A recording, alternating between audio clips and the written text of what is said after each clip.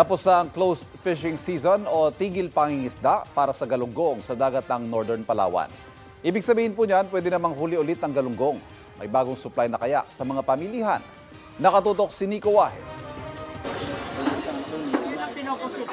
Oktubre pa raw nang huling magkaroon ng tindang sariwang galunggong sa Aling Lorna sa Trabaho Market.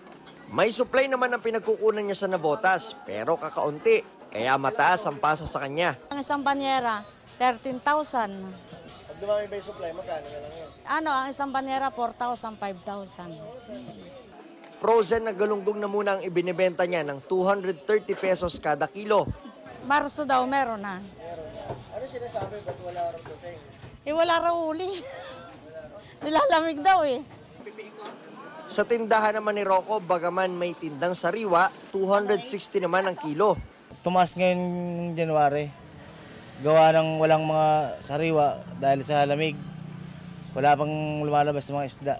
Mabili rin itong kahit frozen. Kasi medyo mura eh. Yun ang mabili sa amin. Pero pag bumalik yung dagsaan ng sariwa, balik tayo sa sariwa ulit. Matapos naman ng ilang buwan, ngayon na lang ulit nagkaroon ng sariwang galunggong sina Rodel at Dory dito sa Balintawak Market. Ngayon lang kasi nagkasariwang galunggong ang kinukunan nila ng isda sa Malabon. Pero kaunti pa ang supply. Kasi ilang cooler lang kasi pagka dumagsa kasi maraming pwesto ang meron. Dadalawang pwesto lang ang nakita ng GMA Integrated News na nagbebenta ng galunggong sa Balintawak. Ang karamihan, puro frozen pa rin ang binibenta na 130 pesos lang dito. 260 pesos naman ang sariwa. Mataas pa ito, sabi ng tinderong si Rodel Datoon. Kaya isang banyera lang muna ang kinuha niyang pangbenta.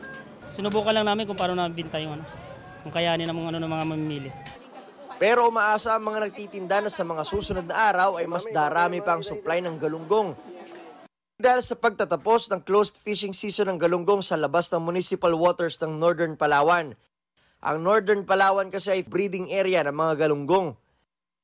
November 1 na magsimula ang closed fishing season at natapos noong January 31. Para sa GMA Integrated News, Nico Wahe, nakatutok 24 oras.